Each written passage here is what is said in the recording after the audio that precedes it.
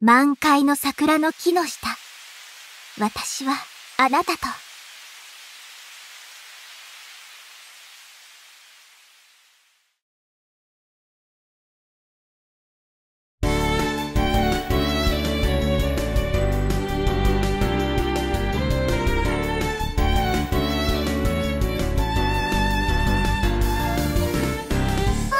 ひまりちゃんおはようひょっとして家から走ってきたの？う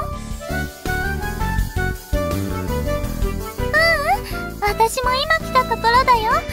授業までまだ時間があるから桜を眺めながらのんびり行こうよ。日差しもだいぶ暖かくなってきたもんね。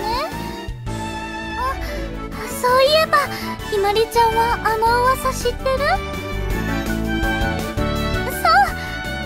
学校の中庭に植えられた10年に一度だけ満開に咲き誇るっていう。伝説の桜の木。その木の下で大切な人と一緒に幸せを願うとその願いは必ず叶うんだって。めっちゃロマンチックだよね。まさか私たちがその年に巡り会え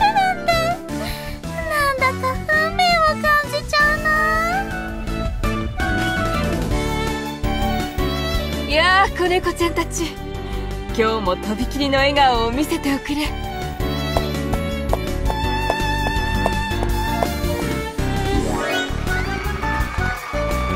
ああうららかな日の光と子猫ちゃんたちの笑顔。なんて儚いんだ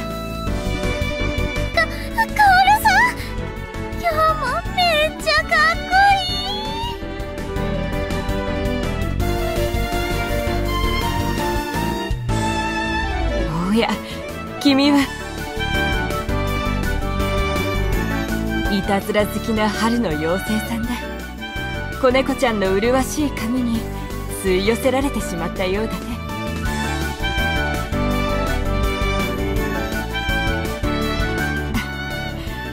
この花びらはもらってもいいかい？お姫様との儚い出会いの記念に。ね。それではいずれまた会おう。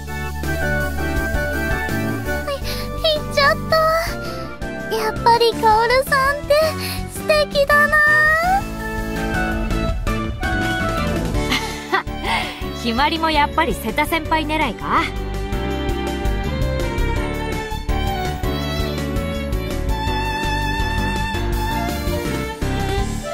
やれやれ。王子様に夢中で私に気づかないなんて白状なやつだなひまりは。とぼけるなって。瀬田先輩を見つめるひまりの目ハートになってたぞ。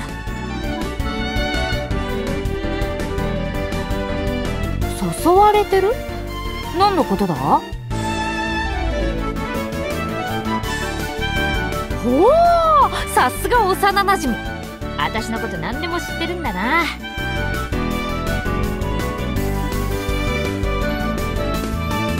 分かってるってそれくらい。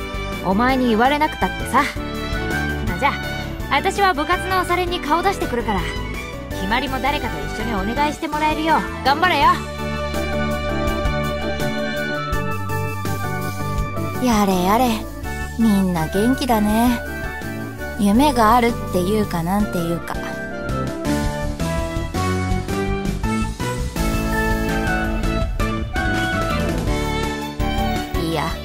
浮かないってほどでもないけどさ。この1週間学園中あの噂で持ちきりじゃん？みんな疲れないのかなと思ってね。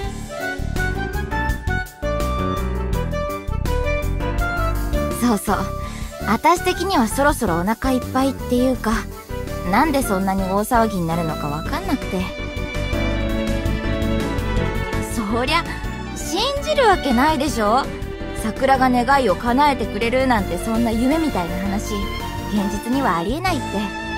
逆にそうやって信じられることが羨ましいよ私は。みんなロマンチストというかなんというか。っていうかそんな簡単に願いが叶うなら誰も悩まなくない？うんなんでも。それじゃあ私は先に行くけど放課後の部活練忘れないでよ。試合も近いんだからったく。みんな浮かれて最低だわ。だから学校っていうのはくだらないのよ。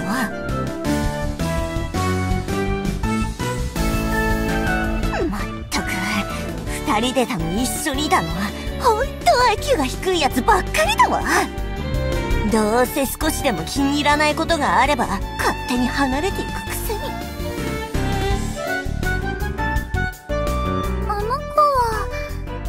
のクラスのチュチュちゃんじゃないかな。私たちより年下だけど飛び級して同じ学年って聞いたことあるよ。それは多分チュチュちゃんが1年に数回しか学校に来ないからだと思うよ。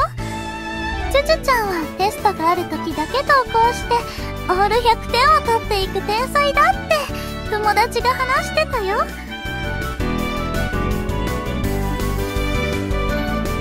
何？あなた私に何か文句でもあるの？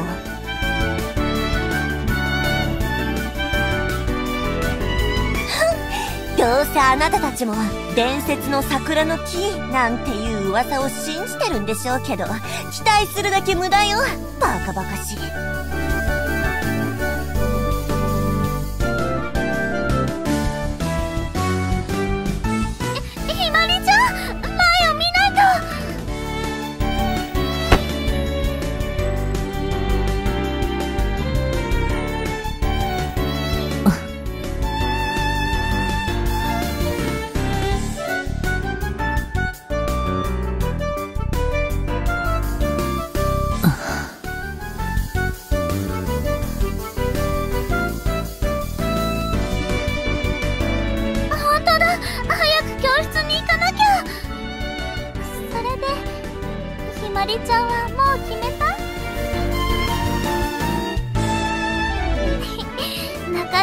桜の木の話だよ。